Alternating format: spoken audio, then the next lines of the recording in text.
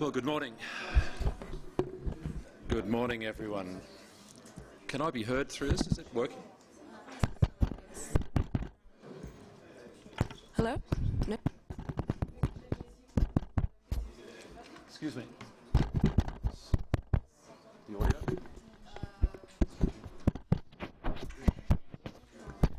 Sorry?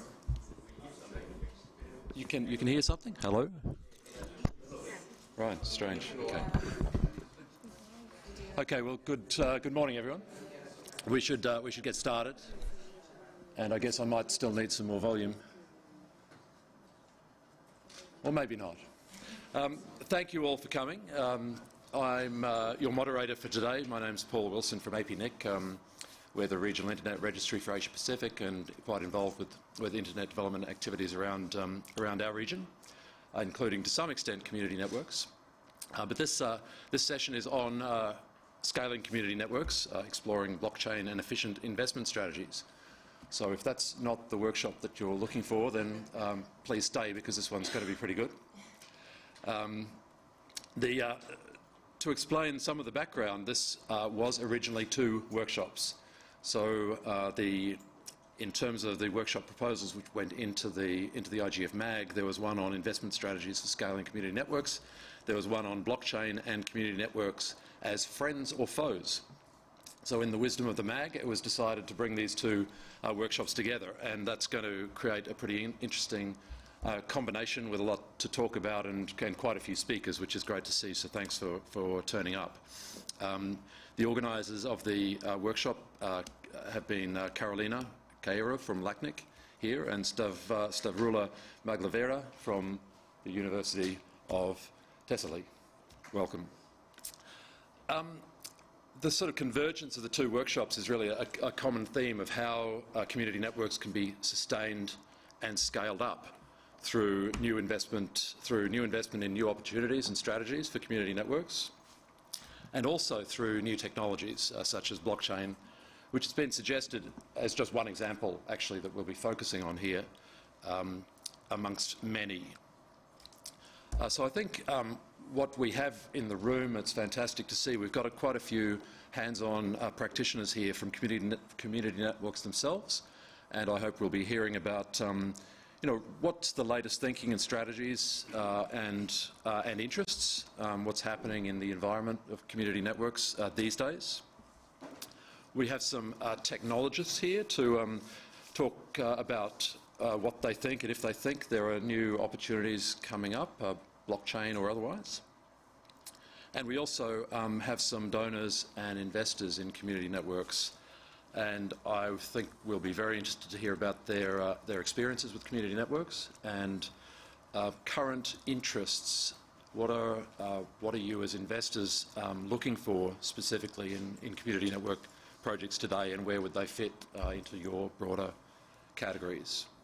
And so the idea is to um, talk about how these things can all be matched up um, in the tango that is uh, investment uh, and funding these days, as, as, Carolina put it yesterday, which I think is a suitably Latin metaphor, the tango of projects and, uh, and donors. So we've got um, quite a few speakers, about four minutes uh, each, followed by some discussion. I really hope that, um, that the practitioners here uh, spe speaking on the panel or otherwise um, will get stuck into the discussion and make it a lively session. Now, I've been uh, given or suggested three, three questions to put uh, to panelists as you speak. Uh, so, if you wish, then please um, uh, try and address uh, any or all of these. Um, specifically, to what extent do current community network strategies, both donors and network's own strategies address the needs of stakeholders in community networks? That's the first.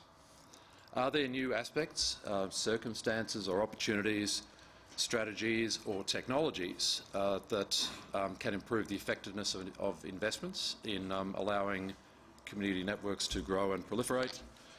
And also, how can we leverage or work with uh, grassroots initiatives for digital inclusion and sort of embed them in the uh, development of community network models. So I'm going to invite uh, speakers uh, sort of in turn, but I'll, I'll ask you to, uh, to introduce yourselves, and uh, I'll start with Carolina from LACNIC.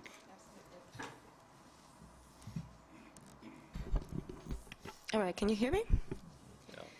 Uh, all right, well, thank you, Paul, and uh, good morning, everyone. Thanks for joining us today. Um, so, um, as Paul mentioned, I am uh, with LACNIC, more specifically the FRIDA program and Seed Alliance. Um, Seed Alliance is a coalition of grants and awards programs uh, run by the regional internet registries of um, Africa, Asia Pacific, um, and Latin America and the Caribbean. Um, and essentially, the, uh, the Seed Alliance supports uh, innovations on internet development across our three regions of work. Um, just to sort of uh, get you a sense of who we work with from uh, the donors uh, present at this roundtable, we work with um, IDRC and Internet Society. We have also worked in the past with our colleagues uh, from SIDA as well.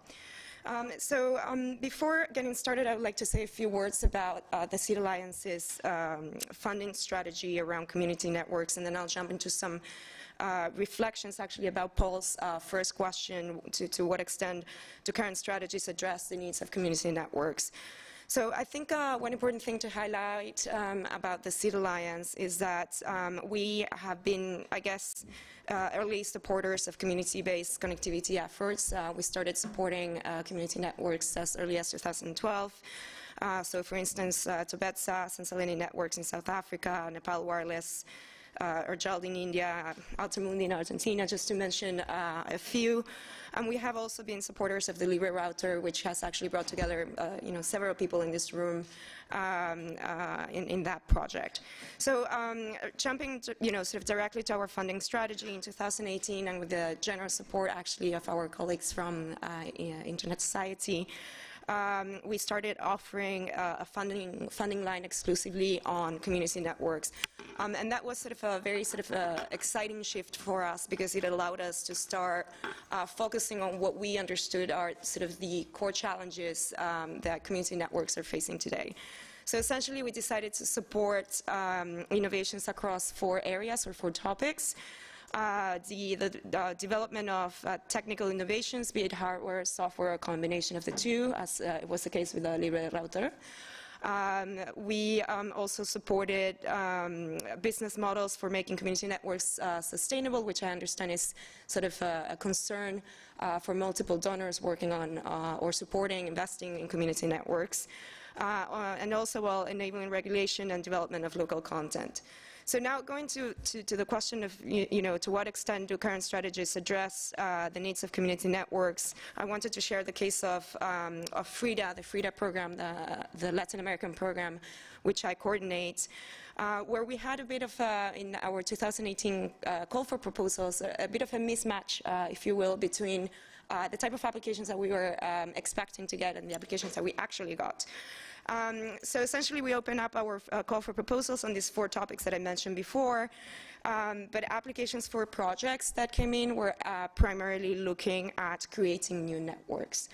Um, so essentially, we, um, we had grassroots organizations applying that had uh, a lot of experience working collectively uh, that had a clear purpose to want to connect. Um, so essentially, they were proposing, uh, I don't know, to close the gap, um, uh, the digital gap uh, uh, with indigenous communities, use connectivity for economic empowerment, education, local content. Um, but however, we did see that some of these organizations were unclear as to what techno uh, technologies were available to them. Uh, they were unclear in some cases um, about how to achieve connectivity um, and how uh, to achieve also the sustainability of those networks. So essentially, we, you know, there were sort of two key takeaways from, from this experience for the FRIDA program. The first one is that new organizations are looking to replicate community networks. Um, so when we um, talk about scaling up community networks, at least in the, in the case of Latin America and the Caribbean, we're seeing definitely a window of opportunity. Uh, there's uh, organizations that want to uh, restore to community networking as a solution to achieve connectivity. Um, and we also realized that it's very important as a strategy to resort uh, to knowledge transfer from existing and consolidated networks uh, to new communities that are looking to, to connect. Um, and here I think it is fair to say that there's organizations already working on this. Uh, Internet Society is actually doing a wonderful work on this front worldwide. Um, and um, also we have um, Rhizomatica Altermundi within Latin America working on this. Uh, but, you know, if we are to say that, you know, there's uh, a, conclusion or something that we are hearing from our pool of applicants is that there's more work to be uh, done on this front. So I will stop it at that. I have some other sh- uh, thoughts to share, but uh, I'll save them for the discussion. Thank you very much, Carolina. That's a, that's a good summary, I think, of some of the thinking that's, um, that's currently going on in, in uh, projects in the field. But um, we also have Carlos from, uh, from APC, and I think APC's approach is, uh, is really uh, good to hear about. Thanks, Carlos. Uh, hello, Paul, and thank you very much for the opportunity to, to speak at the session.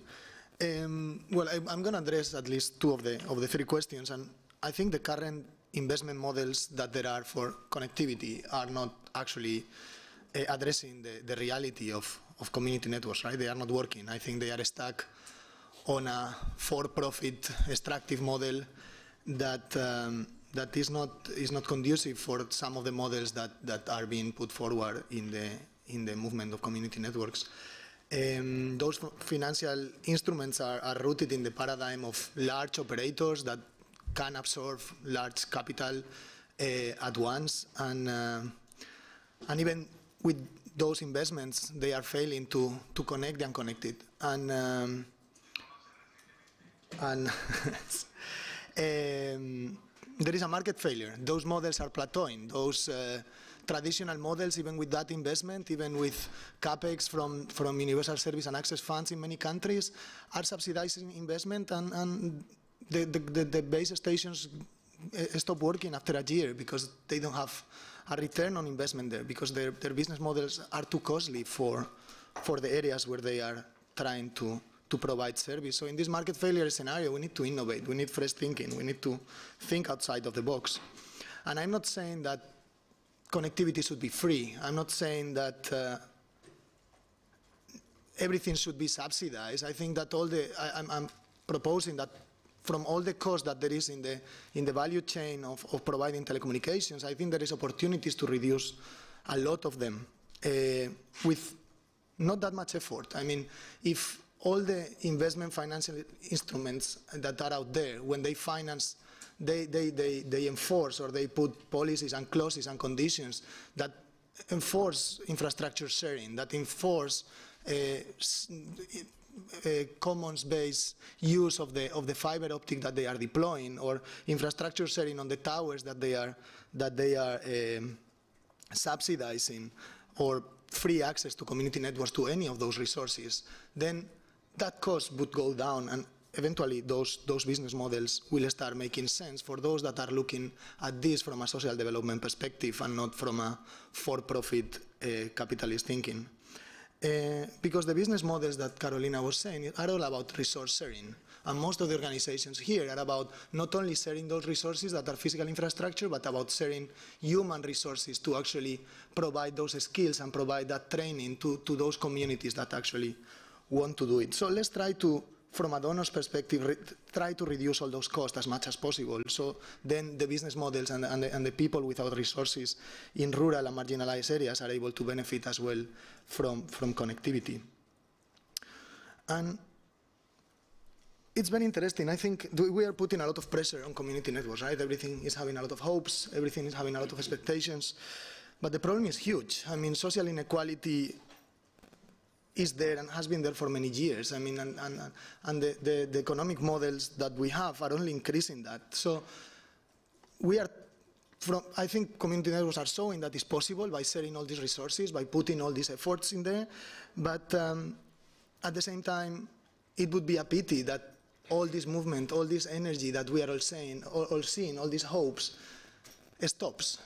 So I think I'm pledging here maybe to all the donors and financiers in the, in the room to, to, to trust the process. I think to trust that many people here are doing their best on trying to understand a problem that is huge. We are talking about a lot of companies that have not been able to solve this problem. The unconnected remain unconnected because the problem is big. And with some funding and with some people putting a lot of their hearts and their minds into the problem, we are starting to see some some progress in understanding how this can be, can, be made. And it would be a pity if there is no more resources in general to explore this in the next two, three, four, five years. It's not, this is not going to get solved next year. This is not going to get solved in 2020. We need to continue thinking and sharing and, and, and putting this together. Thank you. Okay, thank you very much, Carlos. It's, uh, that's a very motivational call for, uh, for this very uh, session that we're in. So, uh, from IDRC. Thank you very much, Paul. Um, It's hard to follow Carlos. Um, Particularly, we support his work, so anything I'm going to say, you have to sort of refer back to what he just said. But um, let me give you a little brief history of what IDRC has done in terms of sort of uh, connectivity, particularly in the Asia-Pacific context. That's where I'm based, and that's where my work has mostly been. Um, The International Development Research Centre is the Crown Corporation of Canada. We support development research in the area of what used to be called ICT for development. That's how old I am. I'm sure you don't even know what that term is. Um, we helped uh, establish um, first connectivities, um, not to say that we did the work, but we funded research that supported connectivity and ISPs established in Vietnam, Mongolia. My own work in UNDP was Timor-Leste, Laos, Bhutan, Nepal, just to name a few. Um, we realized early on that localization was an issue, particularly around language. So we supported regional um, localization um, of languages Khmer, Lao, Bhutan, Bhutanese, and Nepali. So that just gives you a brief work um, of the past, and that was early 2000s. I feel right now, coming to the IGF, I don't know what is number 13, 14th, whatever it is, it's a, a restatement of the access question yet again. Um, and my own program was, in the previous cycle, was focused on post-access issues, issues that assumed that access was over with. We were surely wrong. Um, we're back to that question yet again. Um, so during, again, the 2000s, we were involved in what was called the telecenter movement. Again, that- shows me my age, telecenter or, or Oregon. I don't know if you would remember. But that movement um, was pretty much squashed by what was the advent of mobile, or the adoption of mobile phones as the primary form of um, connectivity. Governments, private sectors, development sectors were investing in subsidizing these community hubs. Um, if you look, and I remember in India, we supported what was called Mission 2007, so 11 years ago, in the idea of connecting every village. Uh, the Indian government has now laid fiber. The question of sustainability, business models, access for what, these are still questions that remain. Interesting enough. Um, Now I'm going to state um, a question of strategy and approach, which does not reflect my organization. It reflects more of uh, my own personal view. I had a conversation with Carlos, I think a year ago, and he was asking me why was I interested in this, um, in this movement of community networks. And I explained it this way, and if you can bear with me, I'm going to offer you an analogy. Uh, My glasses is ecology, this table is ecology. Uh, the wall is ecology. Um, the tree outside, I assume you would all agree, is ecology. Nature, capital N, is something entirely different. Nature, capital N, is green, is mother, uh, inherited from the Greeks, goddess. So here's the analogy I want to, if you can put that in your head. Here's the analogy I want to offer you. Um, ecology is to nature as infrastructure is to the internet. That was my response to Carlos. I think what we need is an ecologi- ecological approach to access, not a mystification uh, approach to the idea of access to a free and open thing. I think there's an advantage to thinking in that way because it addresses the question of sustainability.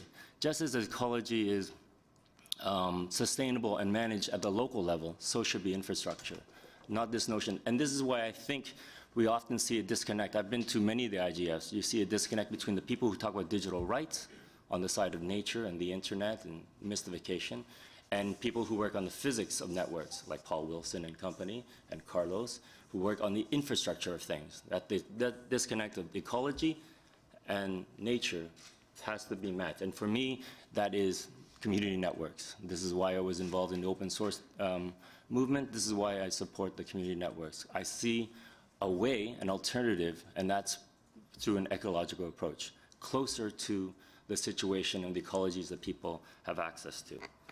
Again, that is not IDRC's position. That is my own personal position. Um, and as uh, Carlos mentioned, there's a lot of hope involved, and I think that um, what community networks, and um, not that we are, have evidence around this, but let's consider an intuition. Um, Carlos mentioned this hope around um, countering what seems to me like power symmetries. We have many discussions about data flows, disinformation, for example, and the hoarding of data, hoarding of flows in, uh, in infrastructure. I think community network offers an alternative to that hoarding and to that hierarchy. Um, in terms of our approaches that we support, I think Carlos can give you more um, examples and more detail. I'm just speaking in general terms. Um, we are a development research organization, so we support development research that involves in-depth case studies, analysis. Um, this was published and launched by APC recently. I hope you grab a book that speaks to the, the very subject. Um, we support the movement around uh, open telecom data policy and regulation, uh, championed by the likes of Steve Song. Uh, we believe in um, movements and awareness building. Um, as Carlos mentions, you need a lot of that support. And uh, we believe in supporting emerging initiatives in cases where that uh, has shown sustainability. Thank you, Phet. That over my time. That's, you- that's your time. Oh, thank hate to, I hate to cut you off, but uh, uh, Carl from SIDA, what's your perspective about the ecology or otherwise? Okay, thank you. So uh, my name is uh, Carl Elmstam, and I work for the Swedish International Development Cooperation Agency, or SIDA. Uh, I, will speak from uh, very much from from my perspective as a as a donor, um, and specifically working in the in the unit for sustainable economic development, where my focus is is uh, ICTs and digital development.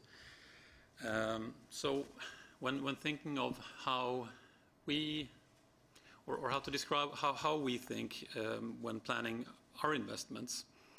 The very starting point for that is the Swedish strategy um, in, in the area.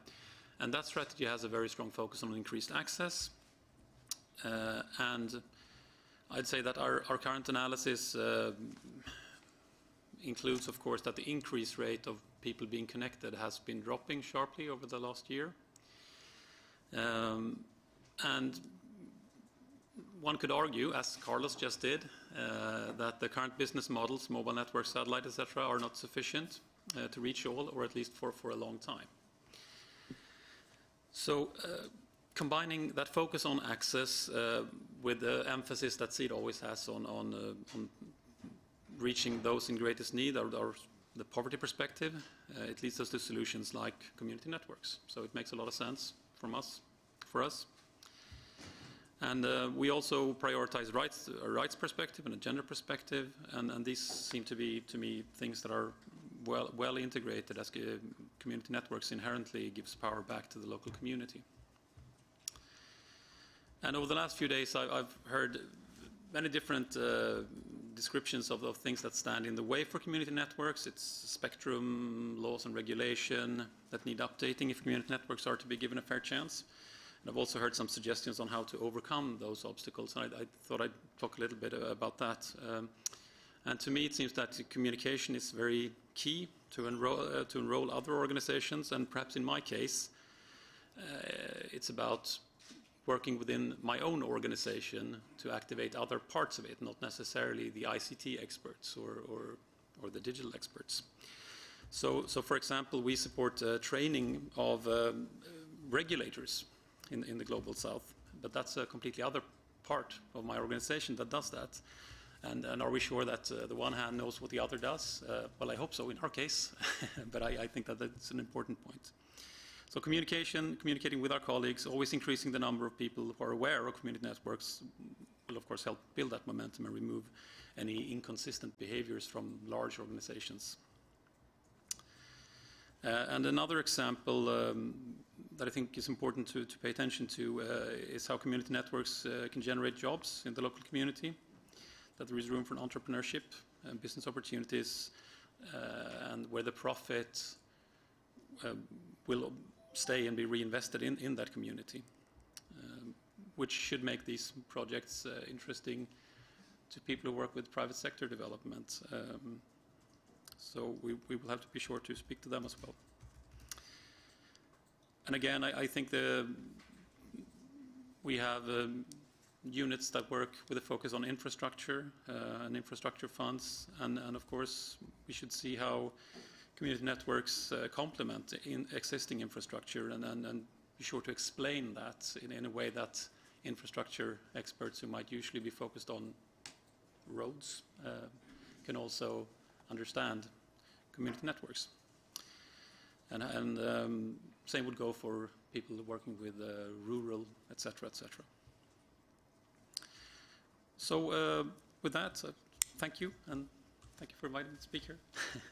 Okay, thank you, Carl. Um, we have a, a trio of um, fairly major funders uh, here with us, so I'd like to ask um, Alberto Cerda from Ford for a few remarks. Thank you very much. Um, to answer your questions, I need to introduce briefly at least what Ford Foundation does so you can have a clear idea about what is the actual scope of the work. Uh, Ford Foundation is one of the largest foundations in the US. Uh, it has specific, it has several programs, but one of the programs is uh, Internet Freedom Program. This program basically provides support to organizations, public interest organizations, uh, advancing internet policies with a human rights or a social justice perspective. Um, and uh, basically the program and the foundation in general, although we like to say that we are global, the truth is that we basically work in the US and, in, and we have 10 regional offices in different developing countries. And from those 10 regional offices we are able to work in 14 in, in 40 different countries worldwide mainly sub-Saharan African countries, Latin American countries, and to some extent in some countries in, in the south of Asia. Um, until why, therefore, Ford Foundation engaged in the conversation about community network is basically because of the social justice implications. The fact that most of the people that are not connected are usually native communities, rural communities, people that usually are members of communities that have been marginalized for the society, for the economic system. Uh, until 2014, this program was fully dedicated only to the US. And as a result, there was some assumption that access wasn't an, a problem, and main, most of the issues were associated with privacy and to net neutrality. Only that year in 2014, the program became, became uh, Eh, started to operate beyond the United States, and at that point was necessary to reassess what was the scope of the actions and the subject matter that we were working with.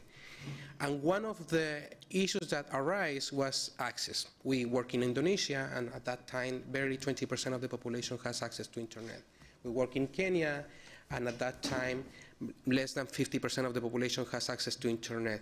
And therefore, there was room for working as a Ford Foundation, as a social justice foundation, in order to overcome that, that gap.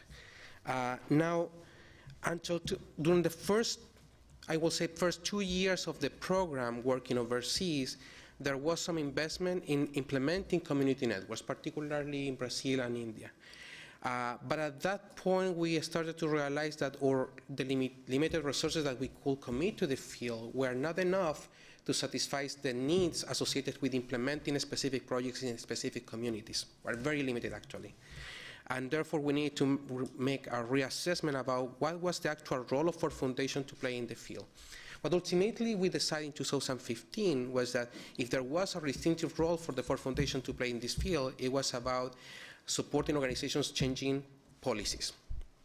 What does it mean? It means a broad range of issues. This is not necessarily on, related only to community networks. It is about internet access, and therefore we have been supporting initiatives about litigation and municipal uh, network, networks in the US, for instance. We have been supporting public transparency of the use of the Universal Service Fund in Nigeria. We have been supporting initiatives about increasing competitiveness in the telecommunications sector in Brazil. And we have been supporting also some initiatives about increasing advocacy for policy changes in Latin America related to uh, community networks. So with that, I'm trying to say that answering the question of the moderator about what the foundation is doing and what is the foundation is looking at doing in the future in this area, basically to support those initiatives that are trying to change the policies, so it's the policy level, in these countries where we are operating, which currently are basically 40 different countries worldwide. I hope that that answers your question. Thank you. Thank you so much. Now, moving along, Jane Coffin, uh, ISOC has had a lot of interest and reaffirmed its interest in community networking. What can you share with us in four minutes?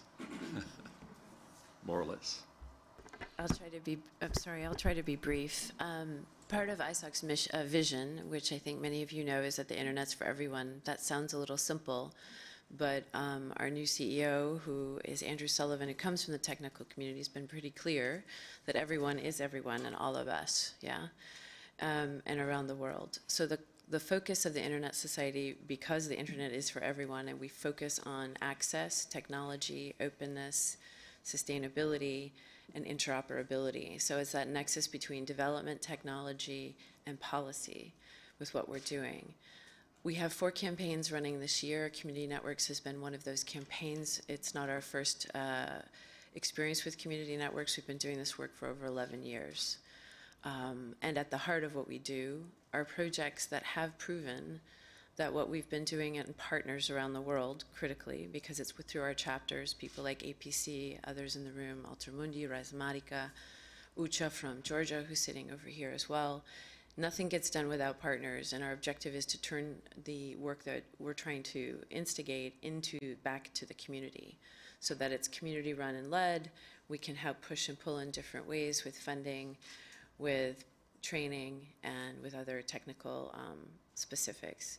Right now, what we're doing from a strategic perspective is running a campaign focused on community networks, on capacity development, community development, and technical development and policy as an underpinning role and communications with that.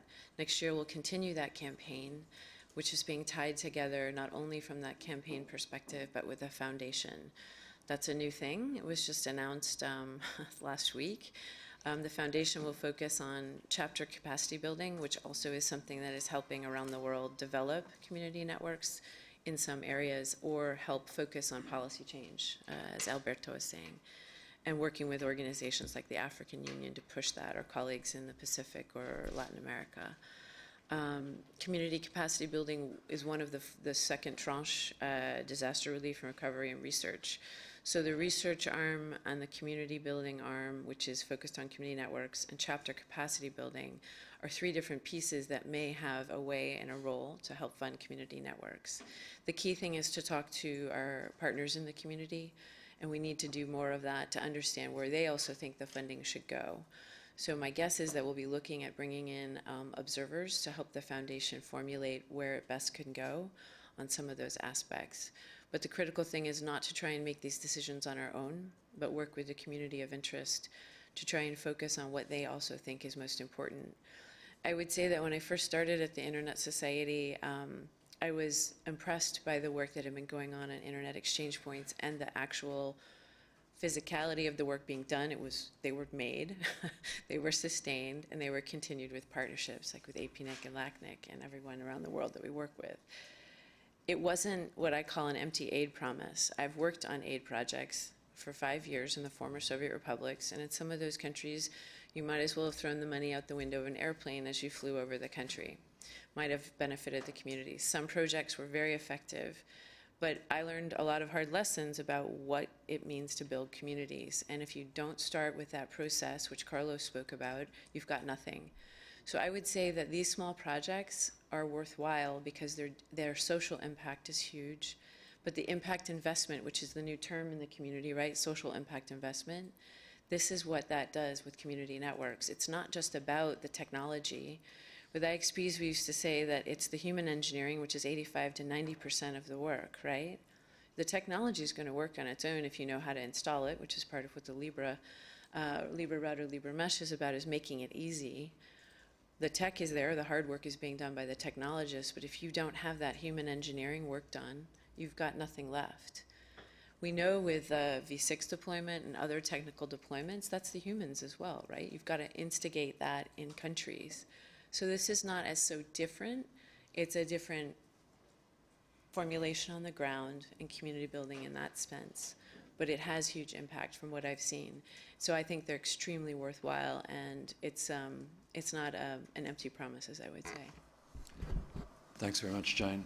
So this, uh, this joint uh, workshop uh, is about the funding and financial models. Uh, and although, as Jane said, it's not all about the technology, there may be some technology uh, opportunities and impacts that can be taken into account. So, um, Stavroula, can you tell us where you're coming from in this? Thanks. Uh, eh, I'm Stavroula Maglavera, coming from University of uh, Thessaly, and uh, I would like to give you a little bit of the history, what the European Commission has done the last five, six years for grassroots initiatives and community networks. It, it's the program initiative called collective, collective Awareness for Sustainability and Social Innovation that uh, support uh, more than uh, 30 quite big projects where eh, involvement, uh, the, the involvement of eh, community networks and eh, communities in general were supported. and the, it was the engagement, supported the engagement of the community networks and the initiatives uh, uh, through the use of uh, digital and information technology. So a lot of, during the life uh, of uh, these uh, projects, a lot of interesting digital tools have been developed for the engagement and empowerment of the community networks. And there are, and it was one of the first initiatives that the European Commission uh, included uh, all of the uh, these initiatives in the actual implementation of the project. It was a, a bottom, it's a, bottom-up approach, and uh, the tools have been uh, implemented uh, with the active involvement of the communities participated in this project. so there is, I'm also representing one of the horizontal actions that support this this specific uh, project. So there is a, a, a list of uh, tools and uh, best practices and pilots uh, implemented uh, within uh, these years that you can find it un under the CAPSSI website. it's www capssi.eu and you can find the status of the all these implementation that have, have been made. As a support action, eh, we also provide to the community different tools eh, how to get eh, together and what, where to find tools for sustainability or other or and collaboration between the different groups. so so at the same time, uh, since uh, uh, the future is in front uh, of us, uh, we created the DSI manifesto uh, that includes the key topics that the different stakeholders would like to see in the next coming years to, to be included in the strategy and the discussion. And also, of course, all this includes uh, the, uh, the technology, the different technologies uh, that there are around.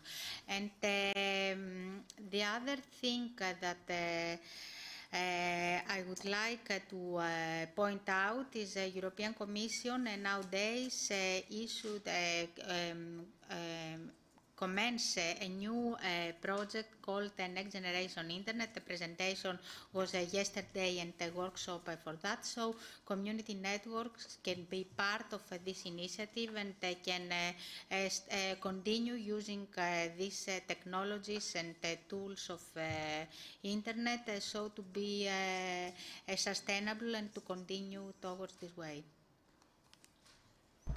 Thank you very much. Uh, Sylvia Molina, you have been working on P2P technologies, I think? Yeah. Yes, thank you. I don't know if I can answer any of the questions, but uh, I wanted to talk about inclusion. I think that has to do with sustainability and also with social justice. Uh, well, I'm anthropologist I'm working on a research project called Peer-to-Peer -peer Models at the Complutense University in Madrid, Spain. Uh, our project's principal goal is to co-create uh, decentralized tools with communities decentralized tools like uh, with blockchain. Blockchain is known uh, because of the cryptocurrencies, but uh, it, it brings also possibilities in terms of governance, related with governance. Uh, with no intermediaries, uh, one community uh, can translate part of their governance rules into the code. Then, or thus, uh, they have to decide what they want to automate or not. And I think this is a mm, good opportunity to review or to speak about all the processes within the community, all the tasks, including the usually forgotten ones, uh, like, for example, the caring work or the emotional labor. Um, of course, making this co-creation process uh, really inclusive is uh, a big challenge. Uh, but uh, for the previously mentioned reasons, this uh, making the rules uh, into code, translating the, the rules into code, uh, with blockchain is much more, the, inclu the inclusion is much more important. It is crucial. Um, we worked, well, my project, our project worked with a network community, our first case study, that had a very male culture. And in that case, for example, uh, our main worry was how the tool could reflect or reproduce all that power relationships within the community. So uh, I, I only wanted to talk about the social part of a project that works with blockchain. I think uh, it has a lot of potential, uh, but Okay, thank you, you. thank you very much. Uh, Panayotis, I think uh, you're another person here with blockchain uh, interest and experience. Yes, I recommended myself to talk because I wanted to have a debate, so I will be a little provocative. Uh, I am a co-founder of an organization called Nethood, and uh, we try to bridge, uh, as we say, the, phys- the physical with the digital, and also different disciplines and uh, research and action. And uh, I will talk here with two hats. My, an old hat, I, was, uh, I took my PhD on economic incentives uh, of peer-to-peer systems. Actually, my community later evolved to create the BitTorrent, and now the blockchain came out of this community of peer-to-peer systems. And as the dissemination leader of the NetCommons project, and I want to talk about incentives and uh, narratives. And uh, I will say that blockchain has many problems as a technology. First of all, it has a built-in by construction speculation element because it requires more and more resources to be uh, invested by the peers of the system. So uh, since the cost increases, then uh, when you put monetary incentives to this, the price increases, and this is a built-in speculation uh, part. It is very highly uh, energy inefficient. It consumes a lot of energy. And I think the fact that releases us from the trust building process is uh, not a benefit, but a, a, a sort, uh? It's, a, it's a problem. Because creating trust is one of the most important processes in community building, and when you have an algorithm doing this for you, it's not good.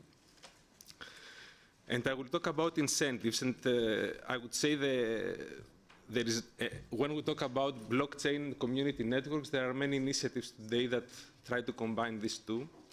And uh, I want to talk first about Freifunk, which is a community network in Germany, where people uh, share their unused capacity, the, their internet, without any incentives, and they have created a firmware that makes sure that uh, their own consumption is not influenced by those that use their own network. And this is enough for them to do it, and not only they do it for themselves, but they put resources for what I call the right to share. It is a very important element to make community networks successful, to claim our right to share our internet connectivity. On the other extreme, there are all these new initiatives like RightMesh, uh, Ammbr, Skycoin, that exactly for the same type of activity, sharing our uh, spare capacity, they add to it very strong economic incentives. Ammbr says, share your Wi-Fi, get paid, extend the internet using viral profit mo motives. For me, this is problematic because it somehow assumes that this is the problem why we don't share our internet connectivity. But for me, the problem is not that we don't have enough economic incentives, but we don't have the means to share it without protecting ourselves. If we make the analogy with Airbnb, Airbnb helps us to share our shared rooms.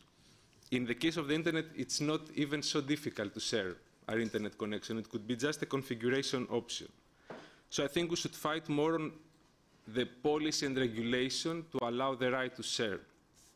Then some people could say that Freifunk is a little bit of an extreme community. It's like the couch surfing, let's say, analog of the Airbnb. Maybe we need also some more robust economic schemes. And for this, GUIF is a very good example also of a, a sustainable model based on market rules, uh, sharing internet connectivity among peers.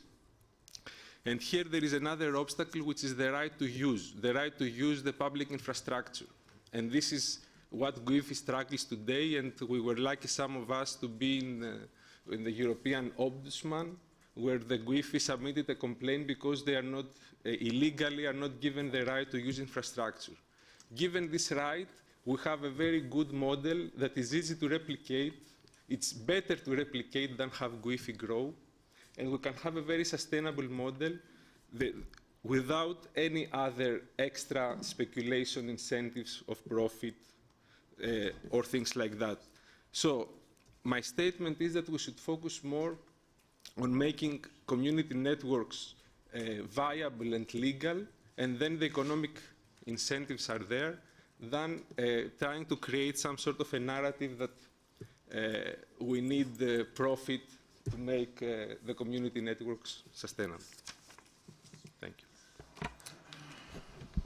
Thank you very much, Panayotis. Uh, I, I, do hope that uh, sparks some debate and some uh, imaginative thought about um, exactly what this, this panel is about, uh, which is to identify opportunities for um, community networks to prosper and grow. Uh, lastly on the list, uh, Nicholas from Altermundi. Hi, thank you. Um, so I'm Nicholas from Altermundi. I'm, a, I'm also the current uh, chair of the CNC, the Community Networks Special Interest Group. Um, first of all, I wanted to share uh, a little bit of the document that came out from the Latin American Summit of Community Networks that met on September this year. Um, one of the, the issues that we discussed during this summit uh, was actually uh, funding and how, how we could improve or what we can tell to our funders. So there are many things that were identified as important. Um, so one of them is that we believe that community networks at this point need funding as a collective not just as individual projects, that we have needs that are shared, like, for example, uh, policy and regulatory incidents or technological development, uh, training strategies, and social impact that are not projects from one specific community but uh, shared among us. Um, also, um, we believe that it would be interesting to have uh, more projects uh, funded with smaller grants uh, instead of uh, funding a few with lots of money. And actually what I would say is every community network project needs to be funded. I think that is uh, one objective uh, that should be put on the table. I know of uh, many of the processes of funding in Beyond the Net, FRIDA, etc., that had great projects presented to their calls, and they just cannot get selected because there's a limited amount of projects that can be chosen. And if we are really committed to connected the connecting the unconnected or to letting the unconnected connect themselves, if they are there and they are saying, hey, we want to connect ourselves, we have the drive, we have the project, well, we should somehow guarantee that they have the initial funding. Um, there's also the importance of uh, making universal service funds available to community networks. And I think that funders, uh, international organizations, cooperation agencies uh, could focus on how to help community networks make a credible case for their governments to actually design lines through which they can assign um, universal service funds. Um, another important thing is that uh, we believe that we need to have objective studies about the cost of deployment of community networks and also uh, studies regarding their social value. Um, so community networks deployments can be somehow compared to other options. We know that at this point in time, um, in some way, community networks are competing with uh, big company projects regarding, for example, the Universal Service Fund. I have shared many panels with GSMA people or, well, telcos, and they are arguing that they need governments to subsidize demand, which means that governments should put the money they received from these same guys uh, and give it to the people to pay for uh, the profit of these companies.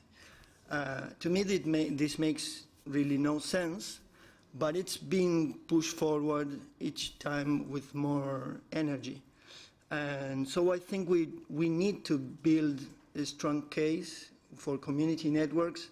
And the most uh, important thing, I think, is to, to make the, the movement, the collective, more present, to have less focus on specific projects and specific communities, but to rely more on the collective. I think that uh, the CNC, for example, the, the, Community Network Special Interest Group, has a role there to work a bit as a federation of community networks. And there are others. The, the, the African group is already established for many years. I think we should rely more on that. And I think that funders could also, uh, in some way, relate to these collectives to help identify the, the more important projects to fund and the strategies because it's those collectives that know uh, what is needed uh, to, to move forward, to scale up. So that's, that's my, my points.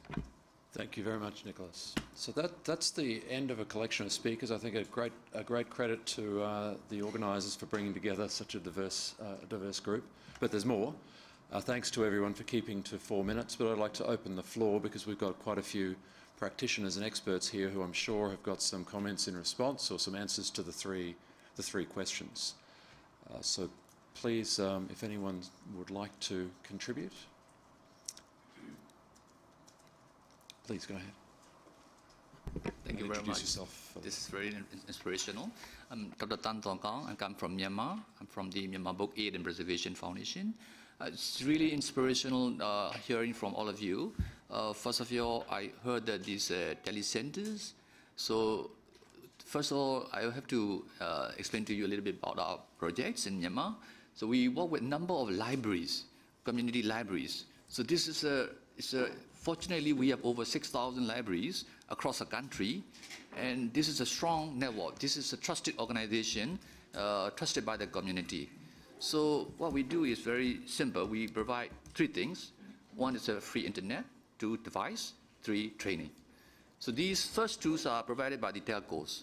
We, we approached many telcos, and one of the telcos uh, sponsored that. So training part, we, we partner with a number of uh, international organizations, including uh, University of Washington, which we develop a curriculum called uh, mobile information literacy. Because the reason what we have to choose a mobile base the information literacy is that uh, in Myanmar, 80, over 80% of the people go online using the mobile phone. But they don't know the potential of this, this tool, you know. Most of the people, we use less than 10% of these tools on the mobile. So that's what we developed the curriculum and we are delivering this uh, training across these libraries. So initially, there was only 55 libraries that we work in 2015. Now the network is expanded to uh, 150. So that's where we started to all develop other projects such as the uh, gender, like Tech Age Girls, which we, we got the award from ISIF this year.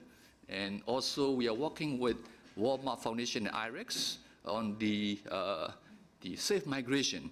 In Myanmar, many of the people uh, migrate to other country because of the lack of, I mean, because of poverty. So one, uh, you mentioned about social justice, which is uh, really uh, is true for our country because many of these migrants uh, workers are exploited in Thailand or Malaysia because of these problems, but they don't have any information. So through these libraries, we provide all the library uh, the information. We even develop uh, chatbot. The reason we use a chatbot is that uh, in Myanmar, Facebook is dominating. So many people are familiar with using the Facebook than the mobile apps. Or I think you might, technologists are here also, you can also educate me.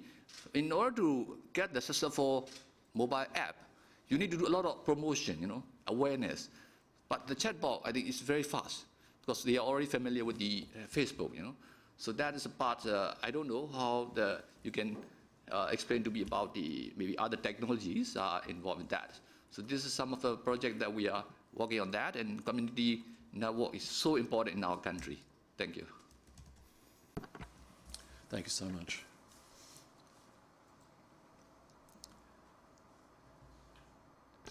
Um, I would like to maybe um, invite some of our colleagues from uh, community networks that are present in the room. Do you mind uh, raising your hand, those of you who are working uh, in community networks or developing community networks? Are there, um, um I mean, uh, for me, sort of the uh, sort of most, most uh, interesting aspect of, of this workshop, um, you know, was to be sort of the discussion and um, and hear from from your communities, you know, what you think uh, is sort of uh, important to be supported and funded, or sort of maybe sort of share a bit of your experiences uh, on the ground. So I don't know if anyone wants to maybe take the floor. Thanks. Okay, I'm, my name is Damian from Atalaya Sur from Argentina. Uh, we are a community network uh, that is also in the CNC, just like uh, Nicolas mentioned. Um, most of our uh, point of views are uh, are mentioned in, in that uh, brief re resume from Nicolas. Um, we think that the regulatory point is important. We work together with the regulatory in, in our country um, to, to solve uh, the, the, problems that we have to uh, implement the, the networks. And that's the, the same hist history in, in other countries of the region and, and in the world uh, with the community networks. And we, just like Nicolas said, uh, we receive also many other um, uh, situations of communities that want to deploy a network, and it's important to, to um, evaluate every case and uh, see if there is another uh, another potential network that can be deployed in that region and if there are all the uh, conditions uh, given to, to deploy that network or if there is another um, help that is needed to, to, to, to give connectivity to that region. We think that the, um, community networks are the, the crucial uh, point to give connectivity in, uh, in many regions and, and, and towns and, and, places that if uh, there is no uh, community network, then there, there will be nothing to connect the, the people that live there. Uh, so that uh, it will be important to uh, take those points uh, in to, to take to um, to to think about those points uh, when we talk about uh, community networks we, because uh, it's important to take care about the, the, regulations but also the need of um, infrastructure for the new communities in, in some cases in some places. And um, there, there, there, aren't uh, a lot of, of uh, different problems in, in, in, in, different regions because the, there are, um, we, we can count uh, the problems with, with, with one hand or, or with two hands. I mean, there are always the, the same problems in, in different regions. And, and we can uh, resolve them with the, the government and the, and the uh, investments uh, and not very high invest investments. That was what we want to to show that if we could do that uh, with with the with the funds we have, then with some help we can improve that situation very much. Thanks. Thank you. Thank you very much. Please. Hello, um, my name is Gui Iribarren from Altermundi. Uh, I also wanted to highlight the role of the community members in self-funding the initiatives. We have been working for many years uh, as Altermundi uh, without any external funding and successfully deploying networks with the help of the people. And uh, I think uh, I, I've seen many projects fail with external funding because of an attitude of saying, oh, we are helping these poor people that don't have any money or means of, and this normally creates a relationship uh, with the people that it's not uh, sustainable, or I wouldn't know how to say this in English. Um, so I think it, it, it can become very powerful if both external funders acknowledge this capacity of the communities of making little investments that also change a lot the attitude of the people regarding these technologies and this network that they are building because they start to feel that it's also their own network and not so much something from outside. And I think if blockchain people have any chance of uh, helping, it could be in this ground where uh, there are some initiatives of uh, cryptocurrencies more um, ecological in terms of uh, power consumption and things like this that could potentially enable local people to um, generate local economies I think this could be a way, but. Uh... Adam Burns, you've been involved with NetCommons. Yeah, hi. Um, my name's Adam Burns. I've been involved in community networking initiatives for um, probably about 16, 17 years in one form or another. Um, and I'd really like to uh, underline some of the points made by the previous few speakers in terms of um, I, I, feel that there's sometimes a, a small uh, multi-layered use of the word community. Most of the time I would class a, a, community network as, as something that does have a sense of high ownership of its own infrastructure and that can have um, great value in terms of understanding their communication requirements in their local areas and being able to make uh, informed decisions upon the growth and the sustainability, both of their culture and their community, and the infrastructure that supports that.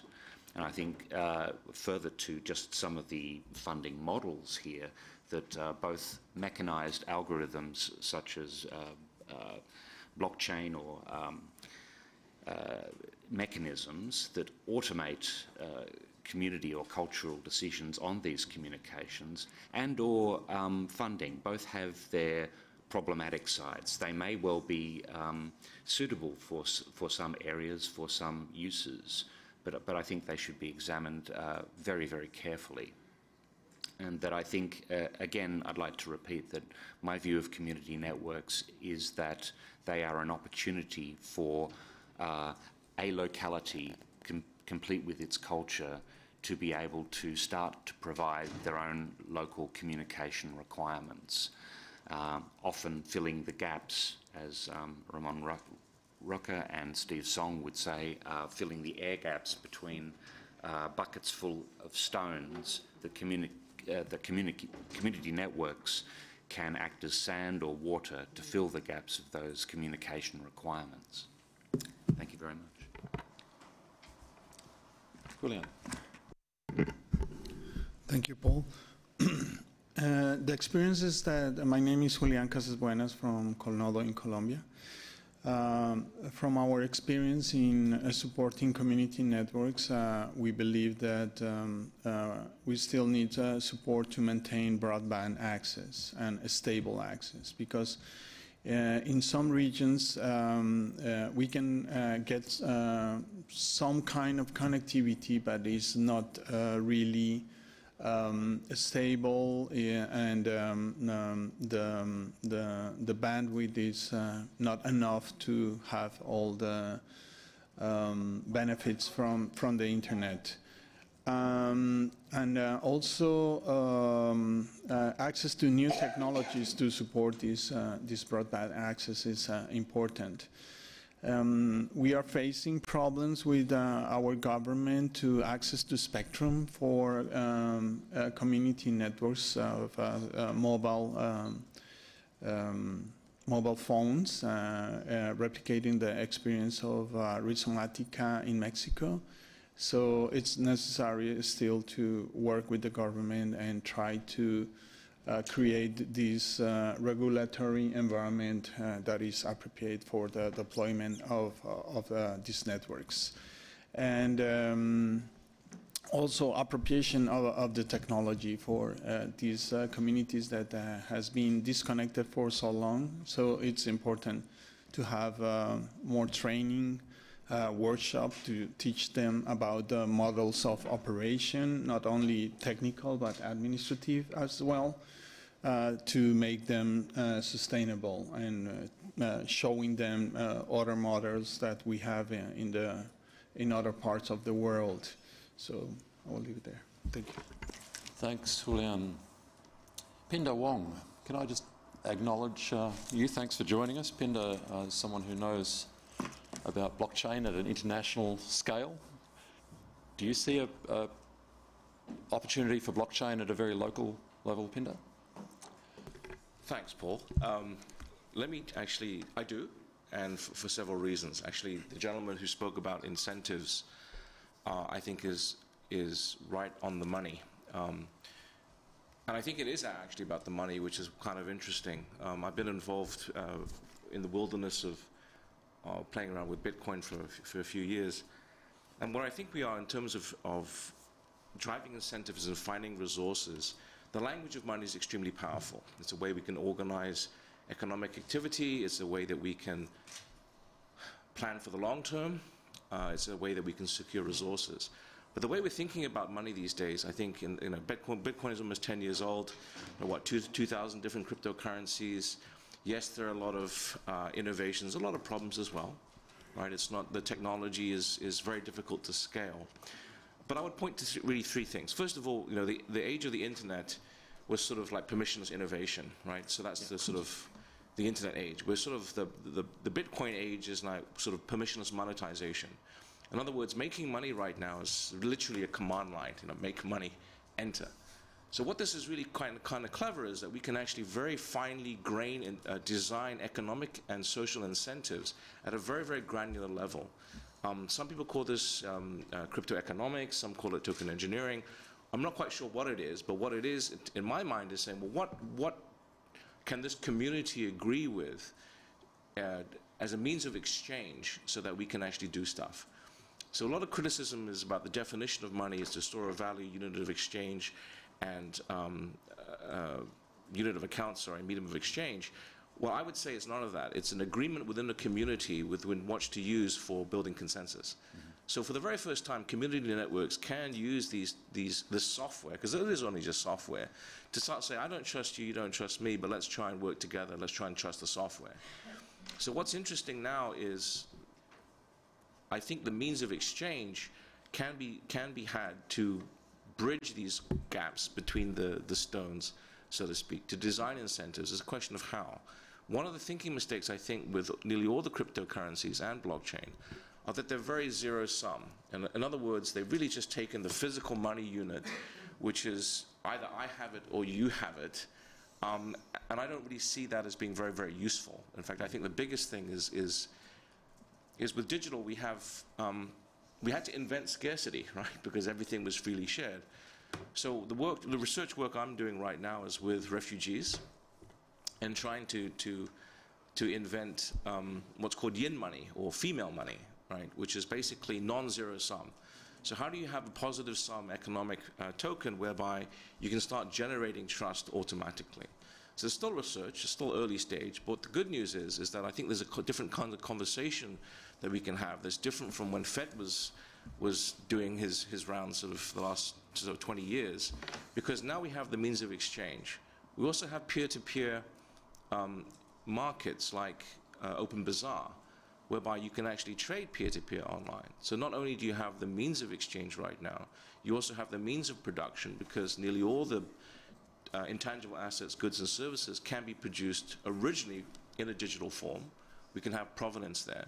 So I think it's, it's, it's a good opportunity now to have a, this conversation because there's a new tool in the toolbox with blockchain. Thank you. Can I throw it back to our funding partners here and, uh, and ask you perhaps if, um, would you see, um, mean, here's a question, would you see uh, reference to blockchain as a, as a feature or a bug in a, um, in a funding proposal regarding uh, community networks?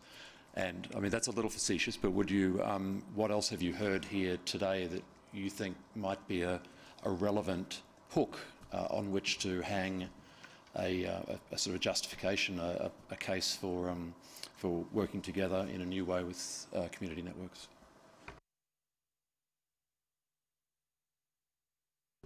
Um, it's not about what I have heard so far, but what I haven't heard uh, I'm from Chile, so I'm not going to make this argument for the sake of my country. Uh, Mexico is a country where 40% of the population has no access to internet, and some of the most successful initiatives on community networks came from Mexico. And the new government has decided to embrace community networks as a main priority for implementing national policy for providing access to that 40% of the population that is unconnected.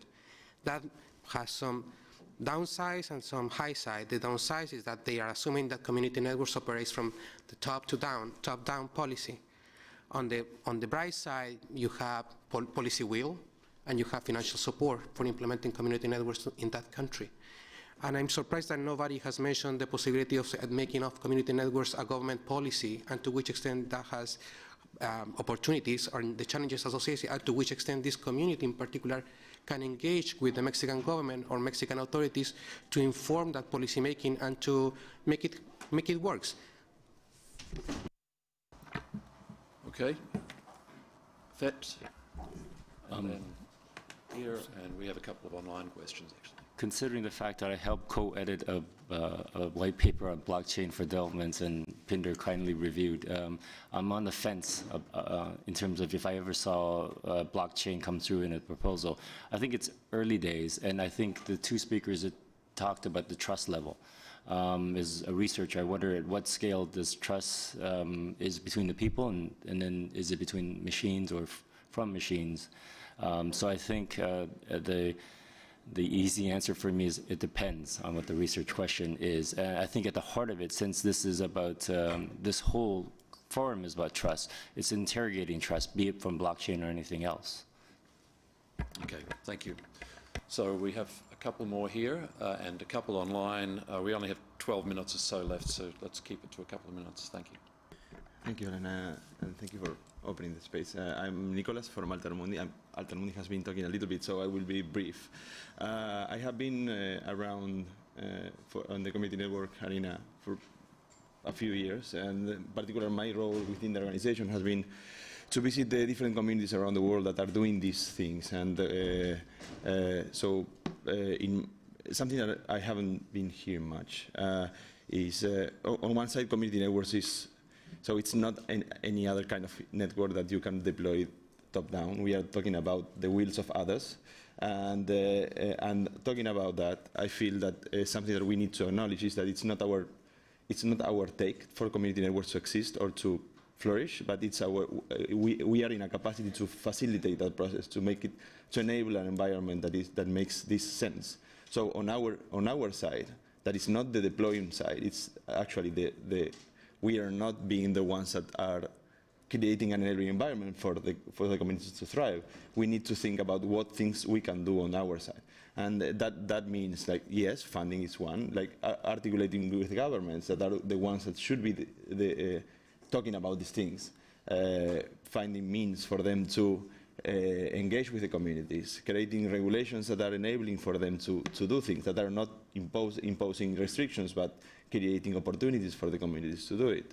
Um, and um, uh, at, at, the funding level, creating, like what Nico was saying, like uh, having chances for the communities to approach in, uh, investment in a, in a much easier way, and not in a way that distracts the communities, but builds on top of their capacity to do things. Can we take one of the online questions? Okay. Um, we actually have uh, two online questions for a while. I think they could probably be combined. Um, firstly, we have Oluwaseun Ajani from Nigeria, and he's asking all of the organizations re represented, and in particular the Ford Foundation, um, what are you doing to ensure that rural students in sub-Saharan Africa, living where there's an absence of reliable connection to the electricity grid, um, get the benefits of community networks for their studies? And we also have Arvin Kamberi from the Diplo Foundation. He asks, we had P2P standards from the beginning of the internet. How can blockchain help now if we know that it needs a large computational power to be secure? if it is open blockchain.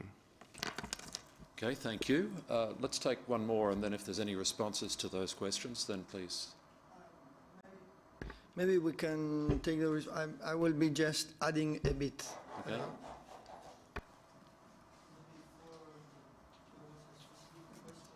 a specific question for Ford? In the case of Ford Foundation, we are currently working with uh, 10 different organizations in sub-Saharan African countries, including three of them in, in Nigeria. Uh, and since the questions came from Nigeria, uh, the three initiatives that we are supporting in Nigeria are about public transparency associated to the Universal Service Fund. A second one is a, um, a, to a group. It's, we, we're not providing project support there, we provide general support so organizations decide exactly what is their priority. The second project is about um, digital security for human rights defenders and other people at risk. And the third initiative is about uh, an organization that probably many of you may know, Paradigm Initiative, that covers initiatives from digital literacy to digital policy. So it's a pretty comprehensive uh, piece of work in particular from our program. In addition to that, we have an office in, in Lagos, and that particular office is providing support to over 40 different initiatives, but my knowledge of them is, I'm not directly engaged in those initiatives, so it's for was, the regional office. Was there any work on the question of electrical power supply, or for that matter, are there any other comments since, on that Since question? the program I work for is about internet freedom issues, and it's, assuming that electricity is there, I don't do work on that particular area. But again, have, we have offices there. We have uh, different other initiatives from my colleagues working on empowering of uh, women's rights, um, and on educational issues, as well as on um, I'm forgetting one, civic space and civic engagement. And I, I'm, unfortunately, I'm not familiar with all the programming of the 10 offices and 40 program officers working worldwide uh, for Ford Foundations. So it's a question for the regional office. Jane. I would just say for the, the remote uh, participant that the Fantsuam Foundation, which John Dada, is John here? Uh, he's on the other panel. There's an Indigenous connectivity panel on community networks uh, in another room, but we can uh, put you together with that person. John Dada does work, in, well, not only in computer literacy training with orphans and women in remote parts of Nigeria, but he's also been participating in all the community network training sessions, summits that Carlos and my colleague Michuki have been working on for the last three to four years. Um, one thing I wanted to add about funding and to support Nico's point, we've got to really figure out and work with community networks to know what it is they need versus what we think they need because um, um, we don't know that local environment as well as they do. And this is uh, also with any project that I think I've been working on from a technical side too, is that they, they know best how they can consume that funding and they can use it. And we've seen, um, I don't know the right word, I call it flooding people with money. if you give too much money to a project, people may, it may be divisive, it may not be uh, as good on the development side. I know it's hard for larger institutions to give out smaller grants. We've been doing that. Um, we know that that's intensive, but we're not going to stop. We may be giving more in the future, but we, I think collectively we could think of ways to also look at the longer range uh, distribution of funds. But I've become a, a bit of um, not very popular internally, I think, on occasion, because now I think that no money should go outside our organization now without specific training. We've tried to do some basic uh, management training, and I don't mean this from a capitalist perspective, so take it as a, a way that we could work with you on the right word but how to manage the funds and how to manage projects, perhaps not with the more sophisticated networks in the world right now, but we've seen the, the challenge that giving someone money can, can take and that you do have to make sure they, they know what to, how to manage it in some ways. Thanks, Jane. Um, so, um, regarding uh, Jane's comment, I, I think that one way to maybe make this sub-granting or small grants possible would be to try to coordinate with community networks collectives so that the collective can manage a bigger fund to distribute as small bootstrap funds for uh, uh, initiating projects. Um, I also wanted to mention, again, from the uh, Latin American Summit document, other things that are not money, but are resources. And I think that mm, many times our donors also have the capacity to, to work on regulatory issues and to help us push forward uh, this initiative. So I will just point the what's written here, it's in more detail in the document if you want to access it in the cnsig.info website. Uh, we talk about uh, idle bandwidth. It's, that's one thing that's for free, and we just need to manage it correctly. In the case of Altermundi, we are using the bandwidth for, from a national university, and we use all the bandwidth during the time that the university is closed. And this is replicated in some other cases. This should be generalized, like we should do this everywhere. Um, extension of public access points. Governments usually uh, set up public access points, but there's no uh, policy to let the people extend those points through community mesh networks, and that would be very interesting.